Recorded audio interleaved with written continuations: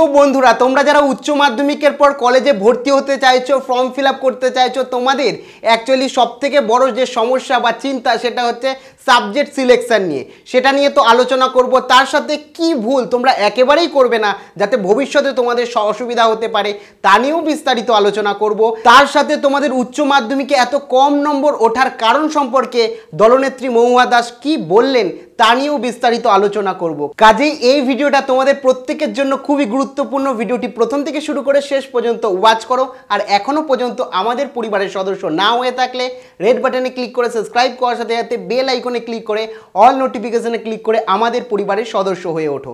আর উচ্চ মাধ্যমিকের রেজাল্টে এবছর এতটা কম নম্বর কেন এসছে এ নিয়ে অ্যাকচুয়ালি কি বক্তব্য রাখলেন দলনেত্রী মহুয়া দাস? দেখো, তোমাদের মধ্যে দিচ্ছি এই নোটিশগুলো যেখানে আমরা বলছি যে এদেরকে শুধু প্রমোশন করলেই হবে না, ন্যূনতম নম্বর দিয়ে, অর্থাৎ যারা স্কলারশিপ আছে, কন্যাশ্রী বা অন্যান্য যে যেগুলো তারা পায়, সেই ন্যূনতম নম্বর দিয়ে তাদের প্রমোশন দিতে হবে।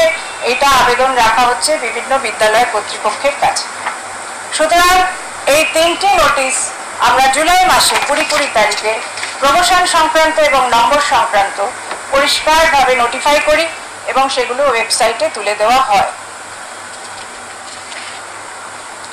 কিন্তু তা সত্ত্বেও, যখন আমরা নম্বরগুলি পাই রেজাল্টের প্রাক মুহূর্তে, তখন দেখা যায় বেশ কিছু ছাত্রছাত্রী কিন্তু অকৃতকার্য হয়েছে। সেই কারণগুলো একটু বলে নি এক, খুব খারাপ নম্বর আছে একাদশে। অর্থাৎ বিজ্ঞানে একুশ পেলে পাশ হয়, সেখানে অনেক কম। একুশ তো পায়নি সিঙ্গেল ডিজিটে পেয়েছে। কলাতে চব্বিশ পেলে পাশ হয়, সেখানে অনেক কম। সিঙ্গেল ডিজিটে পেয়েছে। এছাড়াও যে নেচার অফ মার্কিং হয়েছে, তাতে অ্যাবসেন্ট মার্কিং আছে। প্রজেক্ট বা প্র্যাকটিক্যাল যেগুলো আলাদা করে পাশ করতে হয় পাশ করতে গেলে এগুলোতে ইন্ডিভিজুয়ালি পাশ করতে হয় পাস মার্ক রাখতে হয়, সেখানে জিরো অথবা ফেল আছে। তার মানে তোমরা বুঝতেই পারলে একাদশ শ্রেণির থেকে যখন তোমাদের পরীক্ষা ছাড়াই পাশ করিয়ে দেওয়া হয়েছিল, সেই সময় কিন্তু বিজ্ঞপ্তির মাধ্যমে প্রত্যেকটি স্কুলকে বলা হয়েছিল, ও যে তাদেরকে ন্যূনতম পাঁচ নম্বর ইলেভেনে দেওয়া হোক। প্রত্যেকটাই প্রজেক্ট এবং লিখিত সব মিলিয়ে পাঁচ নম্বর দেওয়া হোক। তার সাথে স্কলারশিপের ক্ষেত্রেও তাদের যাতে কোনো রকম রিনিউয়াল করতে অসুবিধা না হয়, সেটাও যাতে তাদের দিয়ে দেওয়া হোক। ও মানে সমস্ত কিছুই কিন্তু বলে দেওয়া হয়েছিল তোমাদের ইলেভেনে অফিসিয়াল বিজ্ঞপ্তির দ্বারা। কিছু কিছু স্কুল এই বিজ্ঞপ্তি অনুযায়ী কিন্তু স্টুডেন্টদের নাম্বার দেয়নি। সেই কারণেই নাকি এই টু পার্সেন্ট স্টুডেন্ট ফেল করেছে, যেটা রীতিমতো দলনেত্রী মহুয়া দাসের বক্তব্য তোমরা শুনতেই পারলে। অনেকেই কিন্তু রীতিমতো আগের থেকেই সিদ্ধান্ত নিয়ে ফেলেছ ফর্ম ফিল আপের আগেই যে আমি এই সাবজেক্টে অনার্স নেব পাসের সাবজেক্ট হিসাবে এই দুটো সাবজেক্টকে নেব, ও এবং কম্পালসারি সাবজেক্ট হিসাবে এটাকে নেব, কিংবা তিনটে পাসের সাবজেক্টে এটা নেব। তো অ্যাকচুয়ালি তোমরা যখন ফর্ম ফিল আপ করতে যাচ্ছ, সেক্ষেত্রে তোমরা দেখতে পাচ্ছ, ও, এই অনার্সের যে সাবজেক্ট নিচ্ছ, সেই সাবজেক্টের সাথে তোমার মন মতো সাবজেক্ট অনেকেই পাচ্ছ না। সেক্ষেত্রে বলে রাখি, প্রত্যেকটা কলেজে কিন্তু একটা নির্দিষ্ট সাবজেক্ট কম্বিনেশন থাকে। যেমন সকালে আমি দেখিয়েছিলাম তোমাদের, এর যখন ফর্ম ফিল আপ কীভাবে করতে হবে সেটি এক্সপ্লেন করেছিলাম। সেখানে কিন্তু ম্যাথামেটিক্স অনার্সের সাথে অনেক অপশান ছিল। স্ট্যাটিস্টিকের সাথে কেউ ফিজিক্স নিতে পারে ফিজিক্সের সাথে আবার কেমিস্ট্রি রয়েছে। এবং ওখানে দেখছিলাম যে কম্পিউটার সায়েন্সটা নেই। তো অনেক, অন্য কলেজের ক্ষেত্রে কিন্তু আবার কম্পিউটার সায়েন্স থাকতে পারে। এবং যেগুলো যে কমন সাবজেক্ট যেমন সায়েন্স ম্যাথামেটিক্সের সাথে কমন যে সাবজেক্টগুলো ফিজিক্স কেমিস্ট্রি এগুলো প্রত্যেকটা কলেজেই পাবে। কিন্তু কিছু এরকম সাবজেক্ট থাকে যে সাবজেক্টগুলো নেই। দেওয়া থাকে না কোনো কোনো কলেজে অন্য অন্য কলেজে দেওয়া থাকে। সেক্ষেত্রে তোমাকে কিন্তু একটু খুঁজে নিতে হবে এবং এরকমও কিছু সাবজেক্ট কম্বিনেশন যেটা কখনোই থাকে না। ধরো ম্যাথামেটিক্সের সাথে তুমি হিস্ট্রি নিতে চাও। পাস ম্যাথামেটিক্স অনার্স নিচ্ছ, তার সাথে হিস্ট্রি নিতে চাও। সেক্ষেত্রে বেশিরভাগ কলেজেই কিন্তু তোমরা এটা দেখতে পাবে না বললেই চলে। এরপরে তোমাদের অনেকের প্রশ্ন রয়েছে যে, আমার ক্লাস টুয়েলভে অ্যাকচুয়ালি বা ইলেভেনে কম্পিউটার ছিল না বা আমার এই সাবজেক্টটা ছিল না। আমি রীতিমতো কলেজে এই সাবজেক্টটা নিতে চাই। সেক্ষেত্রে কি আমরা নিতে পারি? তো এখানে আমি বলে রাখি, তোমাদের অনেক কলেজেই দেখবে লেখা রয়েছে, তুমি চুজ করছ তোমার অ্যাকচুয়ালি টুয়েলভের সাবজেক্ট আছে কিনা। তার সাথে একটা বিষয় আরও লেখা আছে যে রিলেভেন্ট সাবজেক্ট তো এখানে কিন্তু তুমি অবশ্যই মাথায় রাখবে যে তুমি যদি কম্পিউটার যদি তোমার না থেকে থাকে, সেক্ষেত্রে তোমার যদি ম্যাথামেটিক্স থাকে রিলেভেন্ট সাবজেক্ট সেক্ষেত্রে তোমরা নিতেই পারো, কোনো সমস্যা নেই। এরপরে তোমাদের অনেকের জিজ্ঞাসাবাদ রয়েছে, আমরা একটা কলেজে কটা ফর্ম ফিল করতে পারি।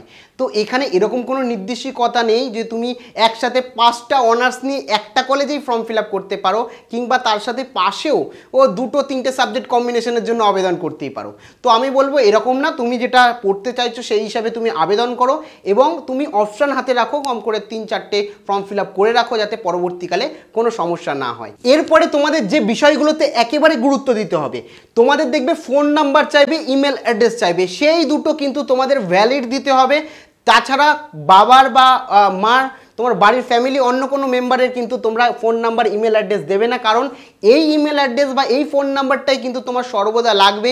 তিন বছর এই ফোন নাম্বার এই ইমেল অ্যাড্রেসটাই তোমাকে ক্যারি করতে হতে পারে। সেই কারণে অবশ্যই নিজে, রীতিমতো নিজের ফোন নাম্বার এবং নিজের ইমেল আইডি দেওয়ার চেষ্টা করবে। এক্ষেত্রে তোমরা অনেকে জিজ্ঞাসা করছ যে আমরা ফোন থেকে, এ, যদি করি, সেক্ষেত্রে কোনো সমস্যা হবে? কোনো সমস্যা হবে না। স্ক্যান করার কোনো প্রয়োজন নেই।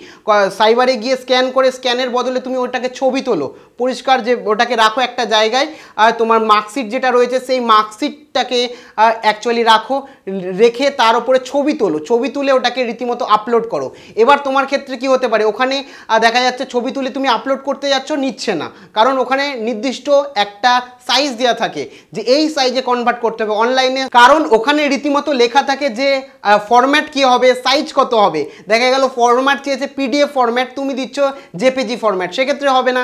দেখা গেছে চেয়েছে জেপিজি ফরম্যাট তুমি দিচ্ছ পিডিএফ তাহলে হবে না। ওখানে দেখতে হবে কি ফরম্যাট চেয়েছে। কনভার্টের ক্ষেত্রে তোমরা অনলাইনে সার্চ করলেই কিন্তু, ও গুগলে সার্চ করলেই তোমরা রীতিমতো কনভার্ট করতে পারবে যে ফাইল যাচ্ছে সেই ফাইলে এবং যদি সাইজ বেশি বা কম হয়ে থাকে, সেক্ষেত্রে কিন্তু রীতিমতো তোমরা সাইজকে কাস্টমাইজ করতে পারবে, যেটা গুগলেই তোমরা করতে পারবে। সেক্ষেত্রে তোমরা বাড়িতে বসেই কিন্তু তোমাদের ফর্ম ফিল করতে পারবে। কোথাও যাওয়ার দরকার নেই, কারণ তোমরা পাঁচটা কিংবা ছটা ফর্ম ফিল করতে গেলে বুঝতেই পারছ, কোনো জায়গায় একশো, কোনো জায়গায় পঞ্চাশ, এরকমভাবে প্রায় পাঁচ সাতশো টাকা তোমাদের থেকে চলে যেতে পারে। জাস্ট কিছু, ওই না, বাড়িতে একবার ট্রাই করলেই কিন্তু দ্বিতীয়বার তোমরা করতে পারবে। কোনো এরকম মহা কার্য না এটা বাড়ির থেকে নিজেরাই করতে পারবে। পিকচার একটা স্মার্টফোন থাকলেই করে নিতে পারবে। মানে যে ফোন চালাতে পারবে, সেই কিন্তু অ্যাকচুয়ালি ফর্ম ফিল বাড়িতে বসেই করতে পারবে। এবার তোমাদের অনেকের প্রশ্ন রয়েছে যে আমরা একটা কলেজে ফর্ম ফিল করতে চাইছি, আমাদের ডকুমেন্টেশন অ্যাকচুয়ালি আপলোড করতে হচ্ছে। আরেকটা কলেজে ফর্ম ফিল করতে চাইছি ডকুমেন্টেশন আপলোড করতে হচ্ছে না। এক্ষেত্রে তোমাদের বিভ্রান্তি হওয়ার কোনো কারণ নেই, কারণ এটা রীতিমতো অ্যাকচুয়ালি কলেজ অ্যাকচুয়ালি যে অনুযায়ী সিস্টেমটা তৈরি করেছে, সেই অনুযায়ী সিস্টেমে তোমাদের ফর্ম ফিল করতে হবে। তোমাদের মেন কিন্তু ডকুমেন্টেশন ভেরিফিকেশন রয়েছে যে তুমি এখন যে ডেটাগুলো দিচ্ছ, সেটা সঠিক দিচ্ছ কি?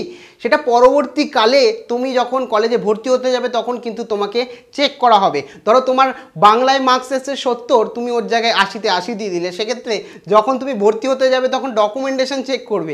সেই কারণে যখন মার্কস যে জায়গাটায় মার্কস বসাবে, অতি অবশ্যই বুঝে শুনে কিন্তু দেখে ভালো করে মার্কসটা বসাবে। পরে তোমাদের অনেকের প্রশ্ন রয়েছে, কিছু এরকম কলেজের ফর্ম ফিল করতে আমরা দেখতে পাচ্ছি, উচ্চ মাধ্যমিকের নম্বরকেও নেওয়া হচ্ছে এবং মাধ্যমিকের নম্বরকেও নেওয়া হচ্ছে। এক্ষেত্রে চিন্তা করার কোনো বিষয় নেই।